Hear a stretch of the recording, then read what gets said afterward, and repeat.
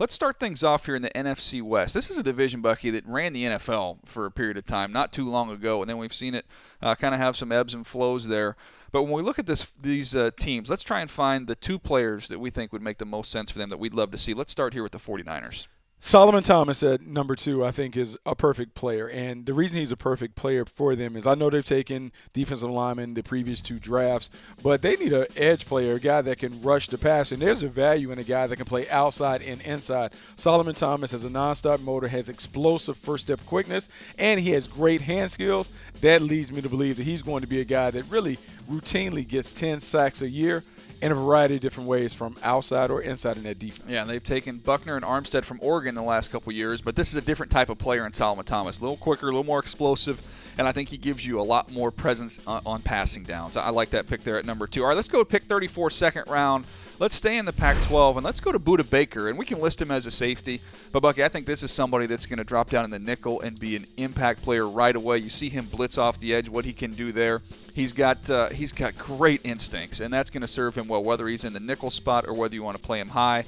I think that versatility is going to serve him well with the Niners. I know it's going to serve him well. I know they took Jimmy Ward a couple years ago. This is an upgrade, a clearly better player to me. I believe he deserves to go there. Yeah, no question. This is a newer, better version. All right, let's uh, let's move on to the Rams, who do not own a first-round pick.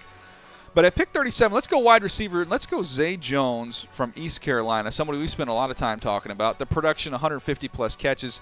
You know about that so many bubble screens and underneath things. But when you get to the Senior Bowl, you see him stretch the field. We really saw this kid can run and he can make plays down the field. He can high point the football, and I think he's pretty competitive after the catch. He's Very well. competitive. He is engrossed in the family business. He's a big time playmaker, and he's just checked off all the boxes throughout the process. Outstanding route runner, great pass catcher, showed up at the Senior Bowl and dominated. He is someone that I think can come right away and start but I'm gonna go. Let's go a little later. How about Shaquill Griffin oh, like coming him. in and being a guy, outstanding athlete, a guy to really impress people at the combine. There you see him run the 40 time, coming out of UCF, long, rangy, can put his hands on, can press. Tough when kid. you have this explosive athlete that you put in Wade Phillips' system that requires man-to-man, a lot of press coverage nice fit between player and scheme. Should be a really, really good ad for the Rams. Uh, he's competitive. I like him a lot. All right, let's keep things rolling here with the Cardinals. Arizona Cardinals, 13th overall pick. What do they do? Here we go. Larry Fitzgerald is on his way out. He may have one more year, so let's go get a replacement that has a game that's very, very similar.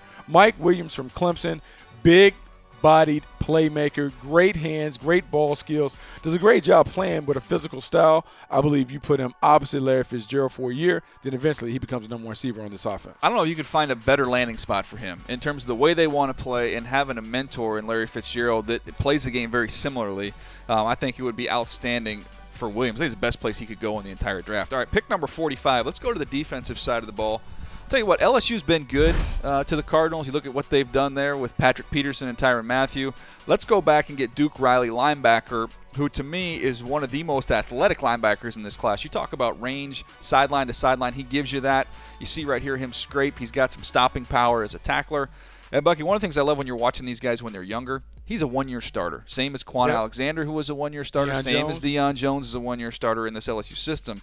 You go back and watch him on special teams the year before, he was hell on wheels. He was fun to watch. You can get a lot of production out of him. You talk about special teams, his ability to step into maybe as a nickel back and then eventually as a starter. You know he's tough, he's feisty, competitive, physical. All those traits lead me to believe he's going to be a fantastic pro. All right, the Seattle Seahawks, 26th overall pick.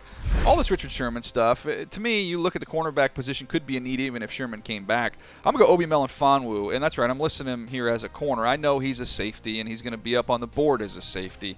We saw him at the Senior Bowl with that rare size and length. You're talking about almost six foot four, mm-hmm. 220 plus pounds.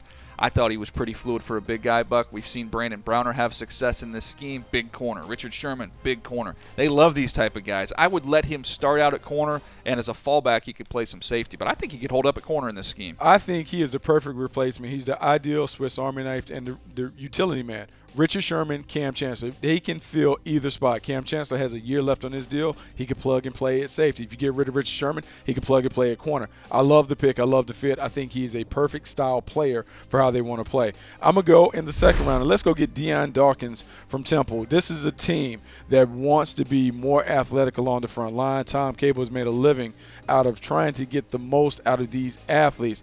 Dion Dawkins is a guy that can play outside, he can play inside. I think he's ideally suited to play on the inside. His rugged nature, his blue collar demeanor should give them an opportunity to be successful running the football between the tackles. No question. I like that pick there in the second round. They have to continue to upgrade that offensive line, and I think Dion Dawkins uh, would do that for them.